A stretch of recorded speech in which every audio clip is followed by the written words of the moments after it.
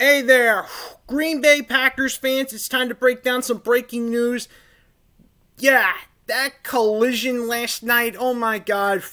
It ended with a season ending injury for rookie running back Kylin Hill. That's right, Kylin Hill suffered a season ending knee injury when he collided with Arizona Cardinals running back Jonathan Ward, who suffered a concussion, by the way.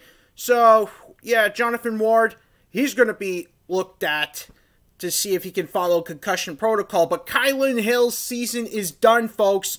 That knee, it really gave in.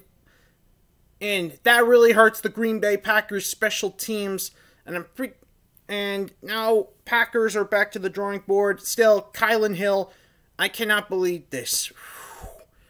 I mean, Jonathan Ward should be out for the year too if that were the case. But I guess Kylin Hill took major damage, way more damage than Jonathan Ward. But yeah, Kylin Hill, good luck with recovery, man. Hope to see you next year. And I'll see y'all when I bring even more breaking news.